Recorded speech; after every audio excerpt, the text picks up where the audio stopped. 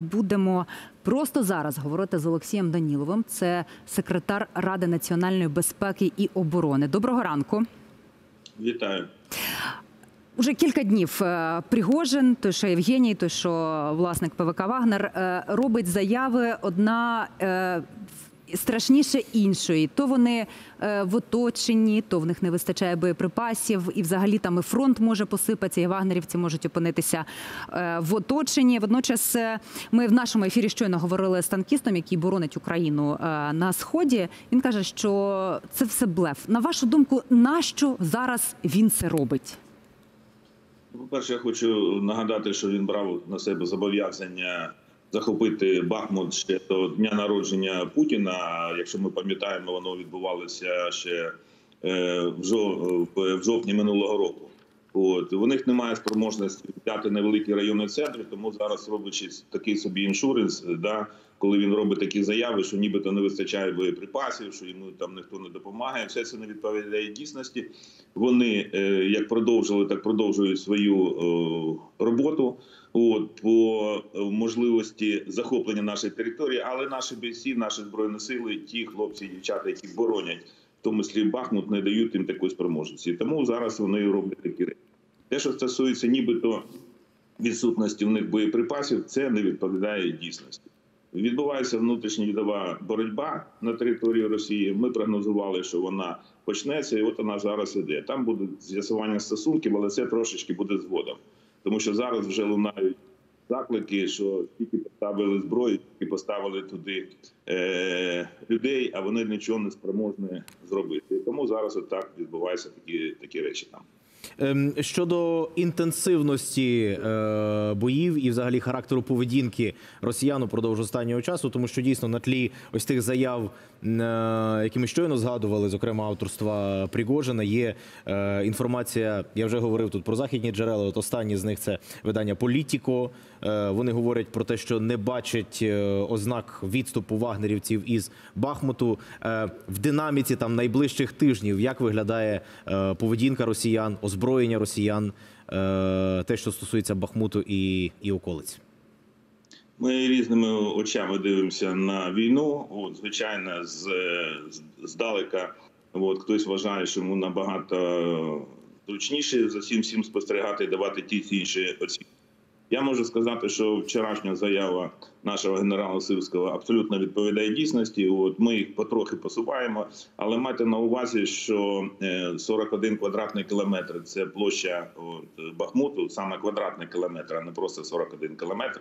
Майте на увазі, що там є з чим працювати, є е, де працювати, і наші військові відпрацьовують всі ці питання.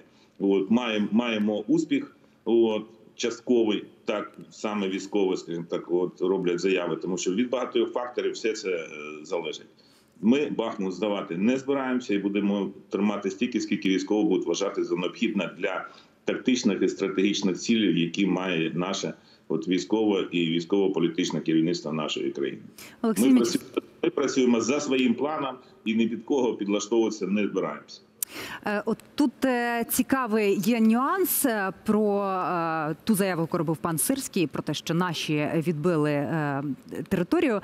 Олексію Мячеславовичу, 72-га бригада російська, не наша. Це ті, що от відступали ці дні. Є момент, вони до цього вже відступали з Херсонщини і Харківщини. Ви би їм що сказали? Ну, по перше, я їм всім кажу: чим швидше ви звідси заберетесь, тим можна зберегти збережете своє життя. А те, що стосується от слова сполучення відступало, ви маєте на увазі для того, щоб воно відступали, мають з нашого боку буде дуже дуже потужні дії, і воно відбувалося і на харківському напрямку, і на Херсонському напрямку. І зараз відбувається на тому напрямку, звідки вони тікають. От це ж не то, що вони там собі сіли, погадали, що а давайте підемо, підемо, тому нас щось не влаштовує. Ні, це відбувається під тиском звичайно наших військових, під е, керівництвом генерала Сирського. От Є відповідні завдання, які затверджуються на ставки верховного командуюча, яка відбувається е, майже два-три рази на тиждень. Там всі ці питання проговорюються. Доповіді мають всі генерали, які знаходяться безпосередньо там на лінії фронту. От для президента, для членів ставки в такий спосіб все це вирішують. Це ж не їх особиста там думка, що вони там ще раз наголошують. Взяли речі і пішли. Це тиск, от це війна, це атаки наших воїнів. За що їм велика дяка. Е, Про е, безпеку українського неба, про протиповітряну оборону теж хотілося б поговорити. Напередодні е, громадськість побачила знімки ракети Кінджал, точніше, те, що від неї залишилося на Київщині, і це успішна робота української ППО і системи Петріот. Ем, Ця новина, що вона в цілому змінює? Наскільки скажімо, масштабно варто оцінювати ось цей один факт. Ну бо так для знаєте, на хлопський розум, ну здавалося би, на жаль, іде війна, і от е, збили ракету. Що, що відбувалося багато вже разів. Але чи дійсно цей прецедент він е, особливий і щось змінює? Ну не зовсім відповідає дійсності багато разів. Ми багато разів відбували зовсім інші ракети. Кінжал це було вперше враження, тому що ми отримали відповідні засоби враження. Це дійсно патріоти, які працюють бездоганно, по в тому числі як з'ясувалося по цим цілям. І для росіян це був такий собі е, шок, тому що вони вважали, що ракета кінжал не є. Е, в зоні нашого ураження, але маємо на увазі, що зараз маємо завдяки нашим партнерам, завдяки роботи нашого президента там безпосередньо, тому що Петріот, як ми нагадаємо, ми отримали саме після зустрічі Володимира Олександровича і Байдена в Вашингтоні.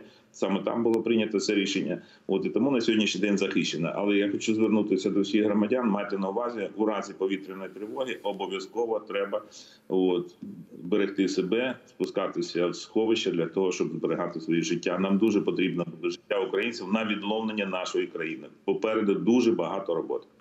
А чи є реакція від міжнародних партнерів щодо цієї історії з Петріотом і кінжалом? Е, Адже російська зброя, ну вони люблять сказати, але аналогів нет. Е, І от е, ці кінжали вважались надзвуковими, такими, що ну неможливо їх нібито збити. Так сталося, що ввечері був прийом в посольстві Великобританії. У нас там було спілкування з представниками е, країн із військовими аташе. Звичайно, і е, приємно враження, що. По-перше, і нашою роботою фахової наших протиповітряної оборони, наших фахівців, і що ми е, ви пам'ятаєте, була ситуація, що нам треба дуже довгий термін часу для того, щоб от опанувати ці зброї. Як з'ясувалося, наші військові дуже швидко навчаються. От і я можу сказати, що всі були всі були приємно здивовані, що саме у нас виходить, і ще раз наголошую. Немає тої зброї у Росії, яку би ми, от, захищаючи нашу країну, от не могли би вразити. Е, Я, Де на... б вона, я хотів би ще раз сказати, де б вона не знаходилася. Я нагадаю, коли йшлося про Петріоти, про те, щоб передати Україні, звучала така теза, що вони занадто складні для опанування. Від до цього моменту, від моменту оголошення про передачу на е, Святого Миколая, е, п'ять місяців минуло. Чи прискорить це рішення по літаках, на вашу думку? Ну, ви знаєте, я прихильник е, F-16, і я вже завангував, що вони обов'язково у нас будуть. Повірте, будуть так, як працює е, президент над цим питанням, так як працюють дипломатичні наші представники, інші представники, які займаються цим питанням. F-16 буде в українському небі захищати нашу країну. Питання тільки часу. От і повірте, опануємо дуже швидко, і наші аси будуть в небі мати перевагу над російською мерзотою. Ну, до речі, щодо опанування, щодо ось цього вишколу, пригадуємо, була інформація про те, що українські пілоти е, навчалися на симуляторах. І е, чи, чи, чи є можливість, е, скажімо, продовжити або ці програми, або збільшити кількість тих власне пілотів, які би опановували е, ось такий ось такий спосіб, та або можливо безпосередньо навчання на самих літаках? Що ви вирішили, що наші навчались тільки на симуляторах? Ну, попередня така інформація була. Чи вже є і дані ви про літаки? Ви пам'ятаєте класика? Не рекомендую читати деякі деякі газети, от, особливо зранку. От все йде, все, все йде, як має. Не хвилюйтеся. От наші, наші військові, особливо е, льотчики, дуже швидко частину опанували те, що треба. От, і повірте, як тільки вони з'являться в нашому небі, от рашисти будуть біжати набагато швидше. Ох, е, інтригуєте. Хотілося б знати більше, але напевно і не можна. Краще побачити їх уже в роботі. Інформую. Е, Олексій. Так. давайте поговоримо про події в Росії. Вчора з'явилася новина, що Путін оголосив призов росіян, які перебувають у запасі. Е, В цьому указі цікавий другий і третій пункт до службового використання. Що це може означати? Скільки людей вони хочуть? е, Чи можна про те говорити? Чи відомі цифри? Скільки людей вони хочуть призвати? Зазвичай для службового користування міститься інформація про кількість осіб, які вони мають бажання призвати. Їм точно не допоможе. Зараз просто йде, я хочу, щоб ви розуміли, таке е, нагнетання ситуації для того, щоб якомога швидше е, посадити нас за стіл перемовин на умовах Росії. Зараз запущена дуже велика кампанія з цього приводу. От зараз дуже багато пропозицій з різних країн з цього приводу. Але майте на увазі, я більш ніж впевнений, що якщо ми будемо про щось розмовляти, і президент прийме таке рішення, то це буде тільки на умовах нашої країни. Ніхто національні інтереси здавати не збирається. Як би того не хотіли деякі представники деяких країн, які на сьогоднішній день активно вклю- включилися в цю ситуацію. Я хочу просто сказати просту і зрозумілу для всього світу.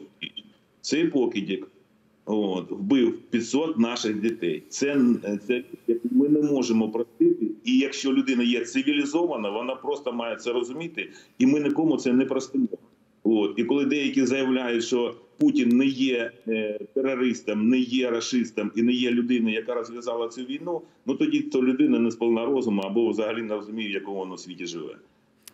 От є новина про призов, і водночас е, газета «Ель Мундо» публікує е, нібито карту українського контрнаступу з детальними там розписані напрямки. Все Е, що це за публікації? Ну, Це, е, те, що вони публікують, ще раз наголошую, вони можуть собі, скажімо так, різноманітні варіанти аналізувати і малювати ті чи інші мапи. Остаточна мапа затверджується в кабінеті президента Верховного Головнокомандуючого Збройних сил України.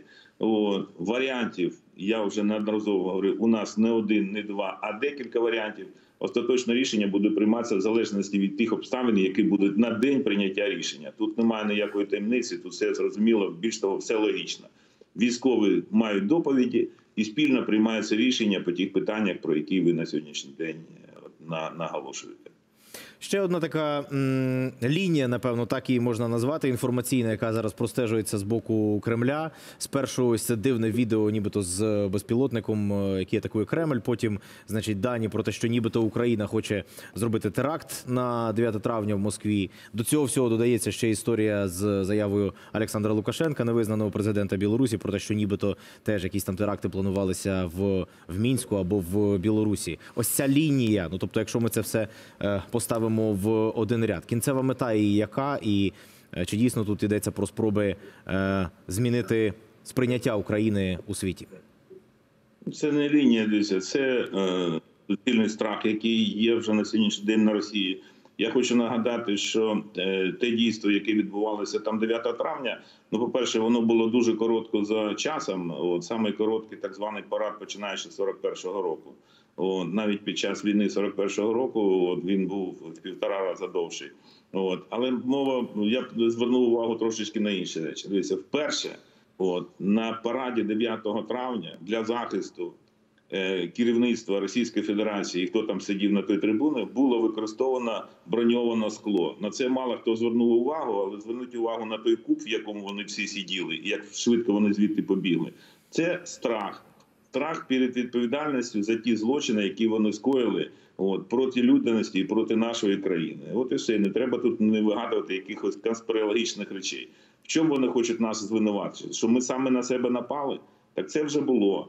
От цим питанням вони мали спробу займатися. Вони будуть нести відповідальність, і вони відчувають, що ця відповідальність кожним днем наближається. От тому вони такий паніч, панічний настрій. А те, що стосується е, безпілотника над Кремлем, ну так вони ж казали, що у них е, сама потужна противоповітряна оборона. Вони їх там і на дерева, і на дахи, куди тільки вони не ставили. От я не знаю, хто там е, над ними знущався. От е, цим безпілотникам, але дехто показав їм, що вони абсолютно є незахищеними, скажімо так, в будь-якій точці, от в тому числі і в Москві, яка вважалася б недосяжна ні для кого. Я думаю, що російські аматори постаралися для того, щоб показати Путіну От що не все не все так просто в цьому житті. Е, Колеги наші із Радіо Свобода уклали карту військових об'єктів, російських військових об'єктів в Криму. Їх там більше 200 з точною геолокацією, з описом. Вони е, запрошують місцевих ознайомлюватися, де е, з цими цікавими об'єктами. Чи думаю, вам наші військові ознайомляться з цією картою? Я думаю, що у наших військових маються карти не тільки Криму, а всіх відповідних об'єктів на території Російської Федерації, і це робота е, велася доволі давно. Це робота нашої розвідки, це робота наших партнерів, це спільна робота тих громадян, які нам допомагають і не тільки на території е, українського Криму, а й на території Росії. От, так що з цим у нас все гаразд. Е, Ну, напевно, встигаю я ще поставити запитання. У мережі е, з'явився лист е, В'ячеслава Богуслаєва, якого підозрюють і в державній зраді, і в протидії Збройним силам України. Це людина, яка очолювала Мотор Січ. Він у цьому листі просить внести його до списків на обмін. На вашу думку, міняти чи ні? Він просто в цьому листі підтверджує, що він був російським агентом, якщо його туди тягне, от і все. Ну а ем, таким чином е, постають питання щодо, скажімо, його попередньої діяльності. Тобто е, те, що він був російським агентом, чи це інформація лише останніх там місяців навіть, чи все ж таки до цієї, до цієї особи треба було призирнутися ще, ще раніше? Ви знаєте мою точку зору. Я вважаю, що ми в 91-му році зробили велику помилку, коли не закрили хрест нахрест КГБ, а от а не зробили просто перейменування. От на сьогоднішній день маємо величезні наслідки тої трагічної помилки, яка була зроблена, на жаль, в 91-му році. Цю структуру треба було будувати з нуля у 91-му році, це зробили країни Балтії. От на жаль, маємо на сьогоднішній день таку ситуацію, але повірте, впорається. Наш народ мудрий. От перемога буде за нами. От і всі ці е, агенти, які на сьогоднішній день ще існують на території нашої країни, вони будуть ще проситися для того, щоб ви зробили обмін. От ми займаємося поверненням наших громадян. Для нас життя нашого громадянина це є найвища цінність. От тому рішення, якщо буде прийматися, повірте, буде тільки на користь нашої країни і наших. Ну тут буквально одним реченням попрошу, знаєте, е, може видаватися, що це дрібниця, але я так думаю, що ні. От та фотографія, яку ми бачили, звернення Богуслаєва, воно написано російською мовою. Е, Чи є в цьому проблема? Проблеми в цьому я не бачу, тому що е, для таких як Богославів російська мова вона була рідна. О, це складне питання. Зараз дехто починає е, розповідати, що нам треба повертати російську мову, що є абсолютно ганьбою. Я не знаю, куди там служба безпеки дивиться на цих діячів, які офіційно заявляють, що вона має бути розповсюджена на території нашої країни. Це після того, як десятки от наших е, тисяч громадян постраждали від е, війни в той чи той чи інший спосіб. Я звернув увагу на інше, що там Російська Федерація написано з малої з малої літери. Це мене вже тішить. Це цікавий так такий м, акцент. Я думаю, аудиторія теж тепер на це зверне увагу. Ще раз нагадаємо, Олексій Данілов, секретар е, РНБО України, з нами на зв'язку. Дякую.